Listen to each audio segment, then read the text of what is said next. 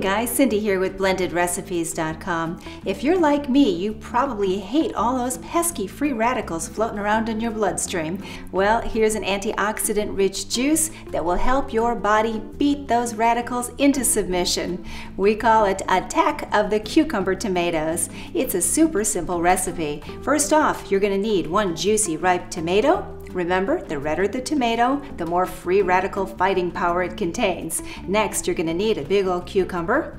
And lastly, two celery stalks. And be sure to wash all of the dirt and pesticides off of the veggies before juicing. Start out by powering up your juicer to about a medium to high speed and tossing in your tomato. Next, our cucumber and adjust it as you need it. And finally, juice your two celery ribs. There we go.